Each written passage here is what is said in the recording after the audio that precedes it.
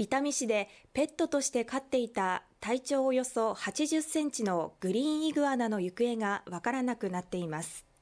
警察は噛まれる可能性もあるとして見つけても捕まえずに通報してほしいと呼びかけています。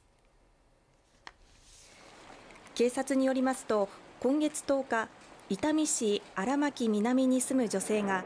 自宅で飼っていたグリーンイグアナを運動のためケージから出し室内を30分ほど歩かせていたところ姿が見えなくなったということです。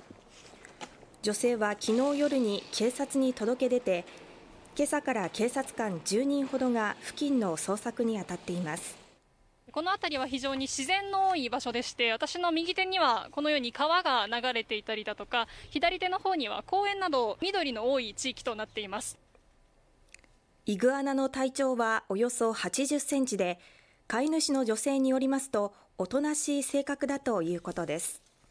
ただ警察は手を出すと噛まれたり爪で引っかかれたりする可能性があるとして見つけても捕まえずに通報してほしいとしています。